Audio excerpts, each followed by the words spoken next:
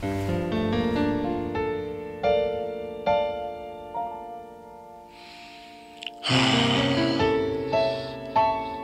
I want to talk about a very uh, special lady to me. She's a real one of a kind, you know. Real diamond in the rough. We go back a long way.